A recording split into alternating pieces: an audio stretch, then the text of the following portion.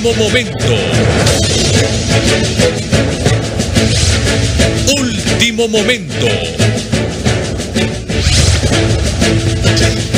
Último momento. Último momento. Bien, de inmediato hacemos un contacto con nuestra compañera Ingrid Villalobos y es que en el sector de la colonia Jordán en Pimienta Cortés se ha detectado que hay una muerte indeterminada. Ingrid, vamos con usted. Último momento.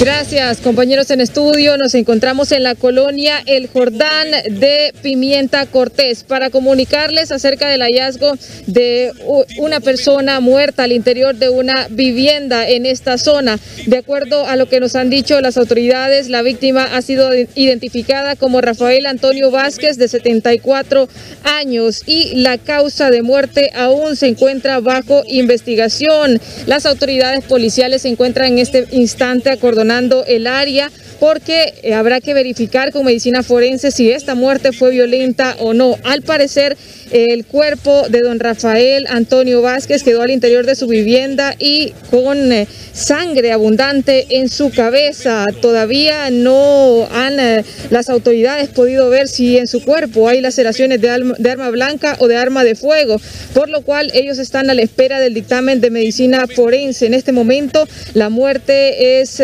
clasificada como indeterminada bajo pendiente investigación en una escena cerrada donde pues eh, al interior de esta vivienda ha quedado el cuerpo de don Rafael Antonio Vázquez de 74 años, una persona de la tercera edad que vivía solo en esta casa de habitación. Sus familiares no tienen siquiera idea de qué pudo haber pasado, simplemente les han comunicado esta triste noticia y hoy se encuentran pues bastante tristes con lo que les han eh, dado a conocer las autoridades. Les repetimos, nos encontramos en la colonia El Jordán de Pimienta Cortés, en la calle principal, que en una casa que está a la par del centro de salud del sector y que está contiguo a la iglesia Filadelfia. Es una casa color verde, pequeña. Al interior ha quedado el cuerpo del hondureño, del hondureño Rafael Antonio Vázquez, de 74 años. Con esta información retornamos a estudios principales.